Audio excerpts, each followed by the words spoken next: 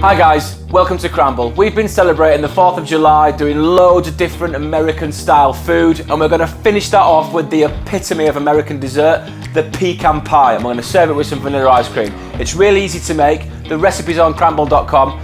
First job we need to do to get this cracking on with is get our pastry rolled out and blind baked. So you want a floured surface, and then you wanna get your pastry onto that floured surface. I've been a massive cheat, and I've bought some pastry. You can make it if you want, but if you can buy it as good as you can make it, then I would suggest buying it. It saves time. And then you just want to roll it out to fit your tart case, which is this. It has a loose bottom, so we can get it out.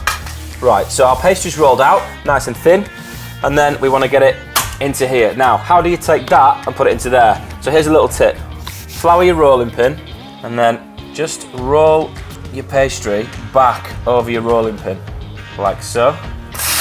Bring your tart case in, and then you just unravel it over the top of our case. Really easy. And then take a corner of your pastry, because you don't want to be poking it with your fingers because at risk of breaking it.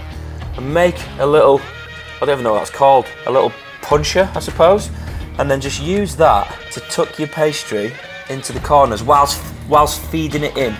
Okay? That way you get it right into the corners, your fingers don't stick to it, it just looks better. So you can see the ridges of that ribbed tart case while we're using this little technique. Really simple. And then any broken bits at the top. Because what will happen is when you put this in the oven, it'll shrink. So you've got to make sure you leave this overhang and we can trim that off once it's cooked. But if you've got any pieces like this that are a little bit broken, just take a little bit of pastry and just push it on there. Nice and easy. And then we want to grab a knife and we just want to trim it a tiny bit just so it's manageable.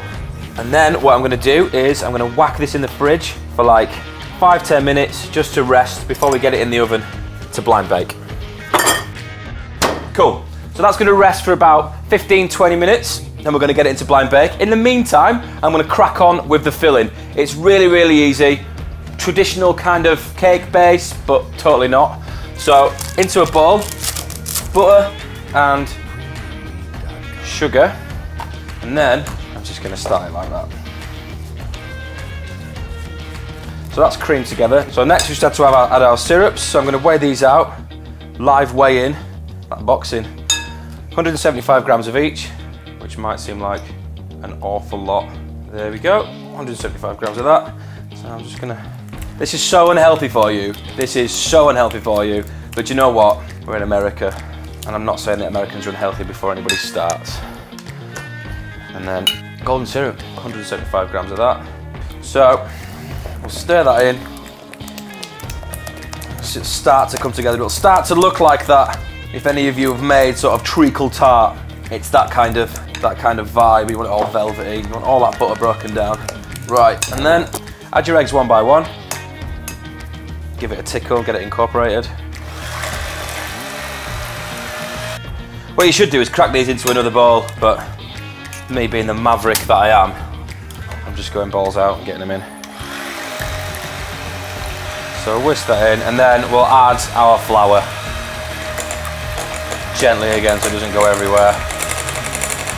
It's starting to get thicker now, you can see that. Lovely, lovely sweetness. And then once it's all incorporated or nearly all incorporated, I'm just gonna get my spatula back and just stir everything else in. And now I'm gonna add the pecans. A big old lump of pecan nuts straight in. And then I'm just gonna let that sit to one side until we've blind baked our pastry and we're good to pour in. So now our mix is made, I'm gonna get my tart case out. It's been resting for 20 minutes. Nice, that's firmed up nice. You can see all the lovely little ridges where we've pushed that pastry into our tart case.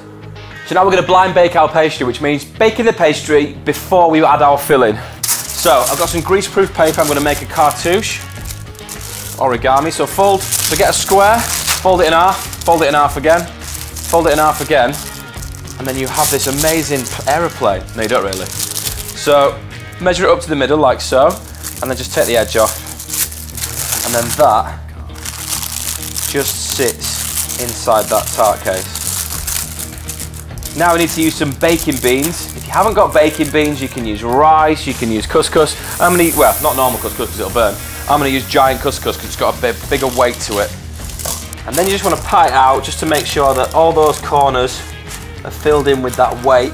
So now we go into the oven, 170 degrees for about 20 minutes. 20 minutes. So that tart case has been blind baking for 15 minutes. Let's have a look. Lovely. So What we need to do now is carefully remove this blind baking bit. You see we have a tart case. Now I'm just going to prick the bottom of it. A little prick. Go back in the oven for a further five to 10 minutes, and then we are good to go. how In. Okay, so the pastry's been in for a further 10 minutes. It's cracked a little bit, but that doesn't. Don't worry about that because we're just going to peel this off at the end anyway. So now we're going to add our pecan pie mix. Just distribute out all those pecan nuts. Then we want to get this in for 10 minutes at 190 just to start off. And then we drop our oven to 140 and bake for a further 35 minutes. So the pecan pie has been in the oven for about 40 minutes. Let's have a little look. Wow, Yankee Doodle Dandy. So I've just got to let this cool now for about 40 minutes. Don't forget your beard bib for when we get involved with some vanilla ice cream later on. And remember kids, God bless America. So now our pecan pie has been resting for about an hour, an hour and a half. It's nice and cool. So we're ready to trim it up and serve it up. So just a little pastry hack. When you have overhanging pastry around the edge of your tarts like this, if you just use a peeler, so if you just use your peeler and then any excess pastry that's stuck on there, you can just brush away. Cool, so to take it out, if you've got a loose bottom tin, just get a, a tin or a whatever underneath it, and then it just comes away. Just go through, it's really sticky and gooey. Awesome, and then tart on, and then some vanilla ice cream. Go. Wowzer. I can't wait to get stuck into that. Nice little bit of uh, vanilla ice cream on there, absolutely delicious. Give it a go. Recipes on the website, cranble.com.